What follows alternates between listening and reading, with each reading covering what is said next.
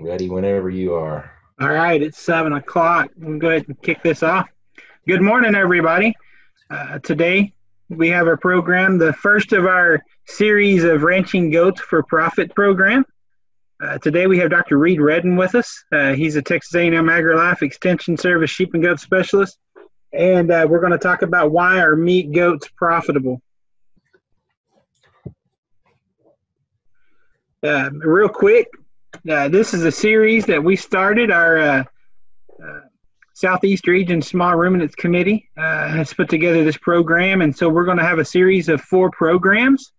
Uh, we plan on doing this every Tuesday at 7 a.m. Uh, next week, we'll be talking about how to market meat goats with Dr. Sean Ramsey, and then on June the 23rd, we'll be doing keep your goat in, keep your goat in, and predat- predators out with Dr. Reid Redden. And then June the 30th, we'll uh, wrap it up with pasture nutrition and parasite management with Dr. Reid Redden. So again, you can join us at 7 a.m. on Facebook Live at the Brazos Valley Small Ruminants Committee page, which you're on now. And I'm going to go ahead and turn it over to Dr. Redden. All right. Uh, thank you, John. Appreciate it. Um, pleasure to be here. Uh, thank you so much uh, for the team and the Southeast region um, for Extension that's put this program together. I'm really excited to share some information with you all this morning uh, about you know meat goats and, and, the profitability opportunities that exist um, within this. And so I guess I'm thankful for all the the platforms that we're able to use. We're going Facebook Live. We're also on Zoom. So this Zoom we can record it and post it out there on YouTube. And so unfortunately, with all the issues we've had with COVID 19, we've also uh, learned how to use technology a bit better. But uh, for the focus this morning, I'm going to kind of go over three things uh, to to quantify profitability of meat goats. And my primary focus uh, this morning is going to be the commercial meat goat production aspect. Um, I call them the win-win-wins. Um, when we look at the markets of the meat goats over the last 10 years, um, they've done extremely well, uh, very consistent, very strong, and so we'll talk about those a little bit. Resource management that goats uh, can do for you, how they browse, um, how they can fit in with other livestock and farming systems uh, to the benefit of the land, and then also the level of productivity that that these animals can have, and kind of wrap things up.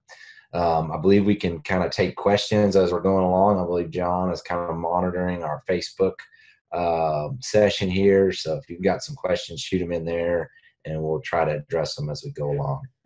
Yes, Dr. Ed, and I'll be watching the Facebook. And right now we have, looks like 32 people joining us this morning. Fantastic. Well, good morning, everybody. All right. Well, let's go. Uh, first thing, the most important thing in this uh, kind of looking at the profitability meat goats, and that's the market price. Um, Bill Thompson, our economist in San Angelo, does a fantastic job with keeping up with the markets and posting things. Um, if you want to follow his reports and go through those, I encourage you to do so. Um, you go to sanangelo.tamu.edu and you can find a lot of this data that like I've got presented here in this slide. The red line is is prices in 2020 for meat goats. This is dollars per pound live at the sale barn in San Angelo and you can see all of 2020 uh, the average uh, meat goat sold has been between two dollars and 75 cents a pound and three bucks. Uh, the really good ones are selling above three dollars. Um, those they're just a little bit uh, a little bit staler need a little extra feed to get to uh, market ready conditions or a little bit below that. Uh, we're at the time of year where the market's always up um, in the winter and spring months uh, there's generally uh, not a lot of goats that come in because they're born in the spring and aren't marketed until the summer. Um, as the volume of goats come in in the summer, that market price will drop um, around 50 or 75 cents a pound. And we see that, and it's very consistent year on year. Um, if we flip over and look at a kind of a 10 year trend that's going on, um, the blue line is that price that we kind of reported before, a little different. Uh, they're little different numbers, and you'll have to ask Bill exactly why those are. But the general overall trend, as you can see, is just on a positive incline. Unfortunately, in, in agriculture, lots of times when we see high prices, we see low prices that, that follow them shortly, and that's not really the case with meat goats. They've been on a on a nice steady trend. Um, that's the blue line that you see. The black line is actually imported goat meat um, carcass price. One of the really good things about the goat industry is the U.S. consumer is paying a premium for them compared to imported products. So now those lines are are pretty close to each other, and the black line is a little bit higher, but that's carcass price. Um, whereas the blue line that I'm reporting is San Angelo's live price, which you can almost double that to get to carcass price at, at a minimum. So um, our American consumer is paying almost uh, twice the value compared to import competition goat meat that's coming in primarily from Australia. Here's another graph, and again, we're not going to get into this on Facebook this morning. I just wanted to show you that it's there, um, that you can really pour through the data. Um, this, I don't know if you can see my little cursor here. I might see if I can get a laser pointer going. But the San Angelo kid prices back in 2011. Uh, my dad's very involved in the meat goat business. Um, they market cabrito uh, into different ethnic groups. And, you know, I remember him calling in 2011 saying how good goat prices were. So this was high for how it was historically, and then it's just been on a slow and steady trend over the last 10 years, as you saw on that line. Another good thing about the uh, you know the meat goat prices is is your cull animals. Um, nannies, you see 63 cents a pound back in 2011, whenever it was actually fairly high, and it's just been steadily going up since then. Um, right now in 2020, a dollar fifty a pound for um, cull nannies at the at the market, and so uh, the market prices have been going great. So you'd think if the market's going up, that we would see an increase in supply, that more and more people will be raising meat goats, and that's not necessarily true. Um, there's been a lot of people raising hair sheep recently, and I think those numbers have really expanded. Uh, but meat goats, for some reason, just hasn't really taken off. So that's actually a good thing for the markets because as we increase supply, typically um, it'll start to start to saturate demand and prices will come down. This this graph just shows you the meat goat prices. They've just been steady, or meat goat volume. They've just been steady over the last four or five years. The green bar is all meat goats. There are Angora goats, which are the red bars. Uh, used to be a lot of those in Texas, not so much anymore. And then the dairy goat world is actually growing, albeit quite a bit smaller. The meat goats. Um, if you you know grew up in Texas, especially in kind of west central Texas, um, you know you would probably have seen meat goats in commercial capacity out on ranches. Um, each of these blue dots in the U.S. represents where 250 meat goats are. And as you can see across the U.S., Texas just dominates the meat goat or the, the yeah, goat industry, really. Um, Texas has more goats than the next 10 states combined. So goat production is just not a common agricultural entity um, outside the state. There's a few states like Oklahoma and Tennessee, a little bit in California, where they're a little bit more popular uh, than they are here in Texas. But you know, Texas, they are a, a fairly common um, agricultural commodity in the west central part. Um, you get to the eastern part, and there's not as many, but there's still probably more there than you would find in other states in and around. So, why has the markets gotten so good? And a lot of this has to do with an influx of new consumers. So, if you kind of take back and look at this at a, at a bigger picture and look at the world consumption of sheep and goat meat, and I lump these together because there's not just real accurate stuff that's easy for me to tease out. I'm also a sheep and goat specialist, so I like to use the data combined when I can. Um, but as you can see, China is huge consumer of uh, sheep and meat goat annually. Um, at you know 8.8 billion tons um, uh, of these products, uh, followed by Mongolia, uh, and then as you're circling around, you've got India, Iran, Nigeria, Pakistan, United Kingdom, um, all these countries. And you look into the U.S., and we're just a small sliver here in sheep and meat goat consumption because they're just not common um, products that we eat. Now, this next pie chart is whenever you break that down per person. So, yes, China is a big consumer, but it's a huge country. So, per person, um, they consume around six pounds per person per year. Mongolia are huge sheep and meat goat consumers at almost 90 pounds of product per person per year. Um, you know, Iran or uh, Nigeria, Pakistan at five pounds. Australia eats a lot, 30 pounds per person. A lot of that sheep um, or lamb meat in particular. Um, you go through Sudan, Algeria, Syria, South Africa, Ethiopia. You get back to the US, we only eat 1.1 pound per person of sheep and meat goat. So why is that important? That's mainly important because there's a lot of these countries are um, immigrating into the United States. Um, many of them are, are Muslim by faith, and I'll show that in a minute. And the reason that that's important for sheep and sheep and goats is is they are regular consumers of lamb or goat meat because it's a staple of their diet. Um, Williams and others in 2011 did a study, and 80% of Muslims eat lamb weekly. I'm not exactly sure what that is with meat goats, but it's probably fairly close. Um, Jewish uh, folks eat lamb at, at 50% of them eat it weekly, uh, whereas Christians um, just don't eat quite as much as often. So when you look at the old world um, and the percent of, of the population that's Muslim, because those are the ones that are the primary consumer of a lot of the goats in the U.S. Um, you know, the Middle East, Northern Africa, a lot of those countries have a really high percent of, of Muslim population. Then you take that into the United States. Uh, what states have higher percentage of population? Um, so California, New York, Ohio, Illinois, uh, primarily states that have large metropolitan cities in them, um, and that's where there's just a heavier population of, of Muslim Americans. And but it's still pretty small um, in the less than one percent. And so this is this data here is a little bit dated. I believe it's about ten years old. Um, but there's a study by the Pew that's looking into the future. One thing I want to bring to your attention is I still got this pointer up. This was in 2015. Um, here we are in 2020.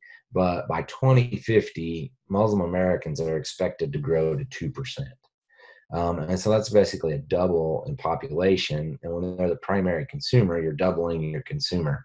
Uh, it's unlikely that we're going to double supply anytime in the near future. So demand and prices from meat goat are highly likely to remain very strong going into the future. So, a very positive outlook. So, it's not just about prices, we have to fit your environment. Um, and in Texas, the environment is very suitable for goats.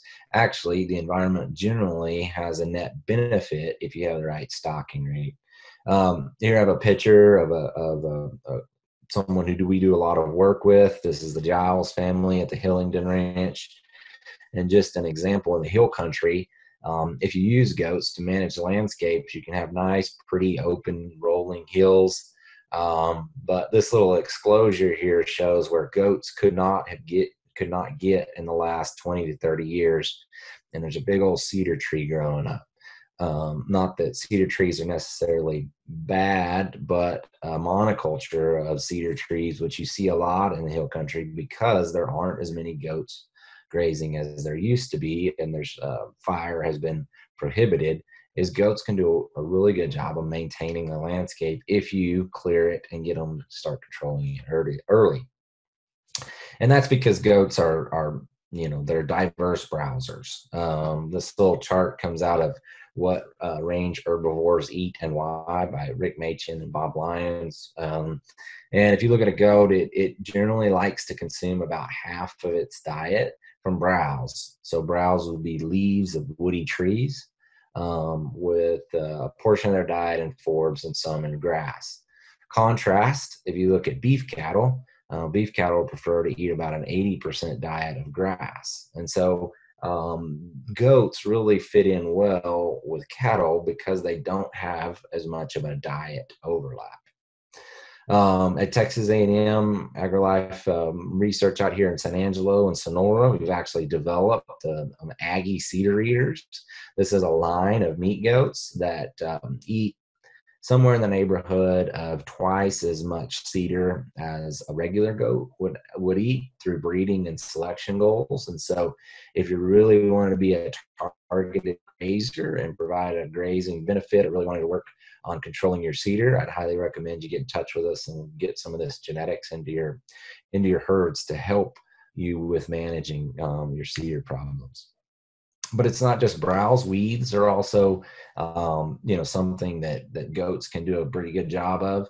You know I, am a biased person. I'm a sheep and goat guy but uh, you know I, I go to a lot of these uh, livestock meetings and there's a lot of folks selling chemical to spray and kill um, you know whether it's browse or brush or weeds and everything else. And you know quite often those are very palatable products that sheep and goats will eat uh, mesquite's not one of those, unfortunately. Sheep and goats will eat the seeds, uh, but but they're not going to eat the leaves.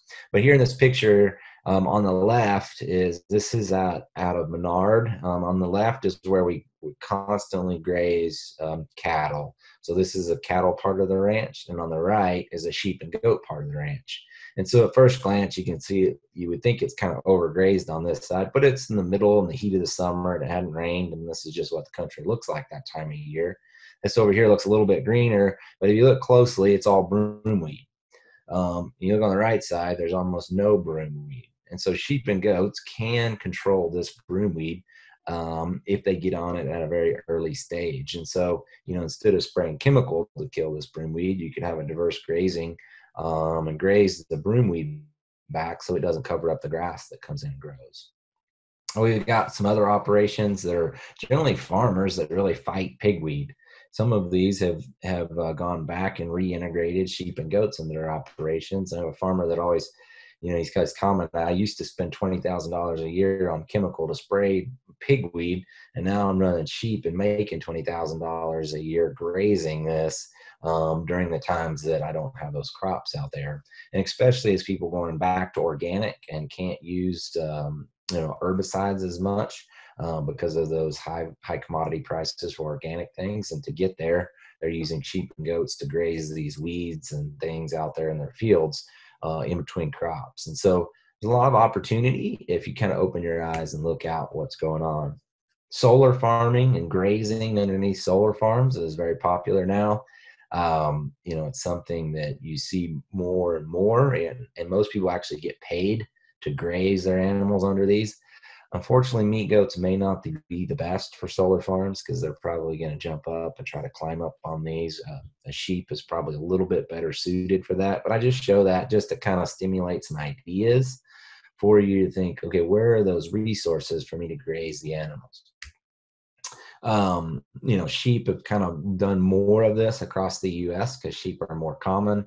Uh, they run sheep sheep a lot in California and vineyards and other places during the off season. It was over here on the right, or even during the growing season, uh, where they may have netting or something to keep the animals from from eating the leaves and such. I did see this uh, little contraption they put on a sheep. I'm not sure real sure how well it worked. I just thought it was kind of funny that this little contraption, as it raises its head up, the muzzle comes down. As its head goes down, the muzzle goes up. So it can eat grass, but it can't eat browse.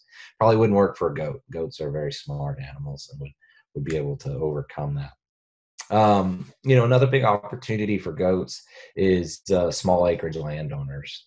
Uh, sheep and goats fit into small acreages fairly well because you can have you know 10 females and a male on on say 10 or 10 acres or so. Um, whereas if you had cattle you may only be able to have one cow. How are you going to get her bred unless you have ai and so there's challenges with having larger livestock species on small land land bases. Not to say that there's not challenges with raising small ruminants as well. And we'll get into that later in this uh, webinar series but this first one is just kind of focusing on the profit opportunities here is a, a, great fact sheet if you want to do some reading up on livestock for small acreage landowners, written by Rick Machen and Bob Lyons. Um, so just search livestock for small acreage landowners. You should be able to find that online. Okay, the, the last win the um, is the productivity of these goats. Um, primarily their ability to raise multiple offspring. Always kind of the buy one, get one. You know, we're going on to a flash sale where you go buy one, you get one for free you know, beef cattle, which is very common in Texas, um, a cow generally always raises one calf. You do see some twinning that goes on, but it's not all that common. In meat goats, it's very common. Um, actually, there's been a little bit of research out of, out of uh, Tennessee, and I just show this because this is a you know southeast Texas where it's kind of more hot and humid, and there's some research that showed the Spanish goat um, across all does exposed raised 1.5 kids per doe. So more than half are, are raising twins to get um, that high of reproductive efficiency. Uh, the Boer goat, unfortunately, uh, raised less than one per doe. Um, it's a bigger, thicker, meatier, faster growing goat, but hadn't been uh, maybe not quite as hardy, not as well able to manage um, the parasite load and and take advantage of the feed land race goat for Texas. Uh, but then again, a Spanish Boer cross would probably do quite well as well. Kikos are very popular, uh, just slightly less productive than the Spanish goat, uh, but maybe a little bit bigger and faster growing, so they might be able to overcome that. And so, you know, from a productivity standpoint, they they raise twins, um, they get those those offspring to market market are, are being weaned you know around 90 or 100 days of age and they're pretty close to market ready conditions because the consumers are wanting these goats around 50 to 60 pounds. And so there's not a long time you've got to hold on to them uh, to be able to get that product back. Um, when you have those short short lactation seasons. Once those those animals um, or those young offspring are weaned off of them, you can get those goats back into condition. They're fairly easy to manage um, if you can keep them fenced in once they don't have the young on them. And uh, sheep and goats are are always a little bit more challenging uh, during the the kidding and lactation season. There may be some other livestock species, but they're very easy to manage during the other part of seasons as well. This is the last slide I'm going to kind of really share with you this morning. Um, and it, it is some data that um, our economist put together. And he went through and, and looked at all the conditions that, that sheep, goats, and cattle are dealing with. And he separated wool sheep and hair sheep out. And he looked at um, the market price for them, uh, the amount of, of, feed inputs that we're taking, the amount of lease land it required to run the animals, um, all those. It looked into predator control, you know, fencing management, all those things, put them into this equation and projected a, a net return per animal unit. You know, because sheep and goats are small. Um, you generally run about seven goats per cow for an animal unit basis and around uh, five sheep per cow on an animal unit basis. So if you're comparing seven goats to one cow or five sheep necessarily to one cow, and you look at the net return, meat goats just killed everybody else. Um, meat goats were generating a return of $300 per animal unit. And again, this is commercial settings. You know, you might be raising some, um, you know, show goats that you're selling kids for two thousand dollars a piece. You think this is way under um, underestimating what what I can generate, and, and I don't disagree with you at all. This is just a really commercial look but there's so many people running cows, which you know I, I appreciate the beef cow industry. I'm not saying they shouldn't be, but some diversity in small ruminants, uh, particularly meat goats, in, in, the ag settings that we have right now, um, should be something that that everyone should really look at, especially if they've got some browse and weeds that they're having a difficult time managing. Um, these animals can be very profit oriented. We'll go through the rest of the week they're a little bit different in nutrition. Um, definitely have to manage predators and parasites and keep them fenced in, and we'll go over those throughout uh, throughout the, the month here. So, with that, John, I'm going to turn it back over to you. Entertain any questions. Before I do, I would just like to plug our own Facebook page, uh, facebook.com, Tamu Sheep and Goats. Um, we post things almost daily there. I've also got a, a, blog that I write monthly at a website that you can sign up for. It's agrilife.org slash sheep and goat. And then we're also growing our Instagram channel at uh, agrilife.sheep.goat. So, John, we got any questions or things come in on Facebook Live? Uh, so far, right now, Dr. Redden, I don't see any questions. We do have uh, 56 viewers right now. And um, they've been scattered across the state of Texas. It looks like from Bronson, Texas, to Jasper, Texas, to Waller and San Angelo. So we got a pretty good widespread. Uh, cool. I'm going to watch it real quick to see if we have any last minute questions come in. Uh, be sure to ask them, and we'll let Dr. Ed answer them for you.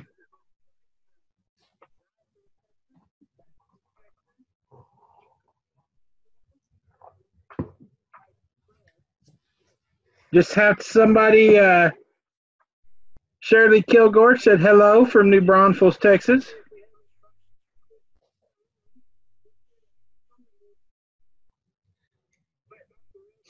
While we're waiting for something to come in, this is a new project that we're doing. You see these goats, they're wearing collars. They're actually uh, Bluetooth devices called Smart Shepherds. And so one of the challenges we have with breeding and selection for commercial goats that kid out in the pasture is we don't know which kids are raised as singles and twins. And so um, this is one of the things maybe why Boer goats have a lower reproductive rate than Spanish goats. The Spanish goats haven't been selected um, maybe against reproduction because they're always selecting the biggest, which are single is we will go through and put these Bluetooth collars on the does and the kids and turn them out for 48 hours and get them back and pull them up together. And the Bluetooths talk to each other, and then it can, because the kid goats will be next to their mothers, it can uh, assign parentage.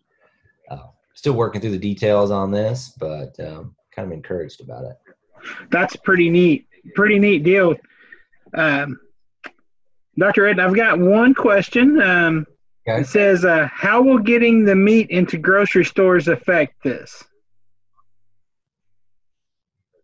And I guess the the the the, the first question I didn't see her. Uh, yes, it's uh, I guess she's talking about maybe the Bluetooth. I'm not sure what she's talking about. I'm I'm not sure. I mean, I, I think getting meat, uh, goat and or meat, goat meat into the grocery stores. Um, you know, it, it's always good to have more demand. Uh, but, but right now, the, the meat goat industry is kind of built on. Um, I guess he's talking about maybe the Bluetooth. There will be a little bit of feedback. I'm hearing your. Um, oh, I'm sorry. Your phone, your phone coming in through that, John. Um, but I think what what's going on, or how the meat goat kind of supply chain works, is these goats are generally sold at at um, auction markets or direct to the consumer or those that are actually auction market are going to you know central locations or harvest facilities.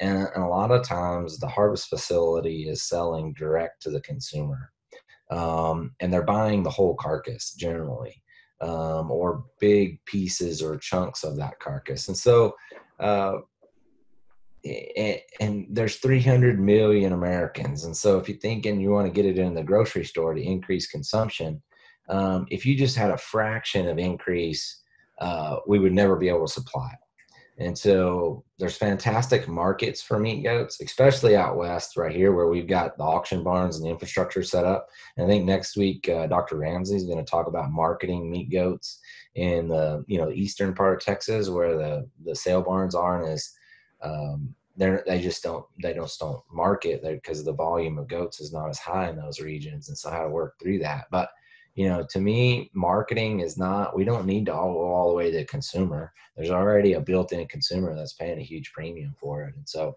um and, and i'd be and, concerned about trying to build too much of a demand because we can't supply it now. And i think you answered her her second question. She asked point uh, the point is, we're not seeing meat and goat goat meat in the uh, grocery stores. Right at a grocery store level, goat meat would be probably close to twenty dollars a pound. Um, maybe not that high, but that's like the whole carcass. Um, so if you sold some of the better cuts at a higher level, it would be even more than that. Because I mean, they're selling for three dollars a pound on the hoof, um, and you're going to add a dollar a pound for the harvest fee or slaughter fee. Um, and then the price from three dollars a pound is going to double because they're only going to hang half that weight. So now we're at six, seven, uh, marketing and distribution at you know twenty to thirty percent. Now we're at 10 dollars a pound for the whole carcass. And so I think the reason they're not in a lot of grocery stores is it's not a common product that people eat. Plus, it's hard to get people to move over to a new product at ten dollars a pound when it's still bone in. You know, so if you if you went boneless with that product, you know, it might even be closer to twenty dollars a pound. And so um, there's a great consumer for me goats. Um, the prices are really strong. Uh, I think that what I would, if I'm looking at raising them, my main focus is how do I gain access to as much feed resources and land resources as I can, and how can I be as efficient at producing them as possible because the markets are there. That sounds good, Dr. Ed. And I have another question. And by the way, um, we have a hello from Humboldt, Kansas. Uh, we also have someone from uh, uh, Armando Gomez from California. He says he has a commercial dairy goat herd there. Awesome. And another question we have is if you would have a larger cedar area to clean out, how long approximately would it take for goats to clean the area out? Uh, let's say 30 goats. Yeah. So um, we, we I can send some people some fact sheets on that. Goats will eat about a half a pound um, to a pound of that a day. Um, the younger the plant is, the better. Uh, we've got some data on the amount of forage on a tree, but generally, if the trees are much taller than three feet, um, and you put a lot of goats in there, they'll kind of clean it up a little bit, but they may eat everything else. What a person really ought to think about doing is cleaning the place mechanically or with fire um, removing the trees and using a light moderate goat uh, browsing management plan to keep that brush from coming back the next time. Because often, when there's a lot of trees, the amount of goats that it takes to clean up the trees, they eat everything else too. Perfect. And if they will uh, email me at uh, reid.redden at ag.tamu.edu. Um, I'd be glad to send them um, some some data on that, where they can kind of make that calculation out. Okay. And we have a question from uh, looking to start a small profit herd. Choice of goat breed, choice of breeding versus buying small. Um, yeah, I mean, I, it all depends on the goals of the operation. Smaller operations often aren't that profitable. Uh, my always rule of thumb is you need 50 animals for it to generate enough money to kind of cover some of your overhead, like, um, you know, having an older pickup and an older trailer to move things around and buying drench guns and things like that. Um, you know before they cover the overhead on things and you need really probably 300 head before it justifies you know a lot of the time that you put in it so that you're generating profits from it. Now it can be something that you really enjoy doing and, and you can make it work. Um, you know spanish goats are the most fertile. Uh, meat the the Boer uh, red-headed white body generally get the most value at the market. Um, so generally what we would recommend is a Spanish doe herd or a Spanish Boer cross herd. Um, and, and those generally have the, the highest level of production. Um, you know, if you wanted to get into marketing straight Spanish, the Spanish breed uh, conservancy group is is getting together, and so you might be able to sell some high value animals. Or you know, the show goat, the the club goat markets are really expensive. Um, so if you have the skill set to be able to raise the right kind of goats for for kids in those market projects, um, you can do very well. But it's it's also very expensive to get into that entity, you know, and buy those. So it all depends on their goals of what they want to do. If they just want to raise a few animals, um, take care of their land, um, and, and, sell some goats to uh, an auction barn or direct market them to some friends and families or neighbors or whomever they can market it to. Probably a Spanish Boer cross is going to be the best for them. That's a real good point, Dr. Ed. And I think, you know, uh, it's really important to kind of have an idea of, of number one, what your facility size is and, and how much land you have and, and what your capabilities are. And then I guess it's like we tell the kids and on their projects as well as everybody else's, kind of set you a budget and set you a goal and kind of see where you want to go. Mm-hmm. Yeah, uh, but the most common mistake people make is they overstock. You know, they have, um, you know, they have five acres and they want to raise fifty goats, um, and, and you know, those acreage just cannot support that. Now, I'm not saying you can't raise 50 goats on five acres, but within that five acres, you need a dry lot area where you keep the goats um, and then just let them out to graze whatever uh, forage you have available. When you don't have forage, you're going to have to buy feed or hay or something like that. If not, you know, John, what's the general cow stocking rate in your area? How many acres per cow? Uh, we we kind of look at three to five, um, and and it's just dependent on the the the grass and and and the type of pasture. And, and I think that's a common mistake. You say uh, we, we we usually look at about three to five acres per head um, on the safe side. Yeah, yeah. You kind of broke up a little bit, so I didn't hear you exactly, but I said you broke up a little bit. I didn't hear you. Um, you know what your exact numbers are, but let's just say if it's ten acres per cow and a higher rainfall out here, it's it's closer to you know thirty acres, depending on where you're at. And again, you know, if it's 10 acres, um, you know, per cow, um, you know, you could run, um, say five to seven goats on that 10 acres. Uh, and, and generally when people have 10 acres, they're gonna have a lot more than that five to seven number. Uh, well, Dr. Redden, we've, uh, we've made you a uh, international star. We have, uh, Nancy Pratt from Australia watching us today. Oh, very good. And uh, so I think you um, looks like that's all the questions for today. Um, we want to be sure and, and tell everybody that uh, and, or, or reinform everybody that this is a uh, ongoing series. Uh, we'll see you in a couple of weeks. Um, next week we'll have Dr. Sean Ramsey at Texas A&M uh, to talk about marketing and uh, uh, of your goats. And so we want to be sure to, to follow us on our uh, Brazos Valley Small Ruminant Committee page and uh, Dr. Redden's Facebook page as well. And uh, we'll be providing a lot of great information. Uh, you've seen Dr. Redden's contact information on there. Uh, also, feel free to contact any of your county extension offices. Um, and they uh, we all as uh, county extension agents we have a direct line to dr redden as well.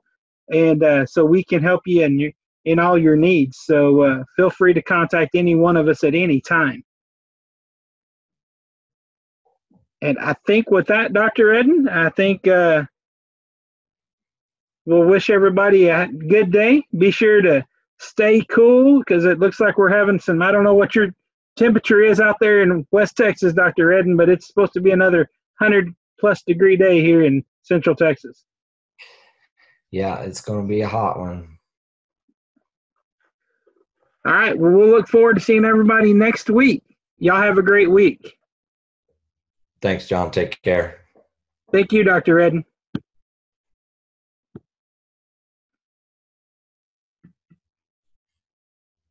All right, we're down. You still got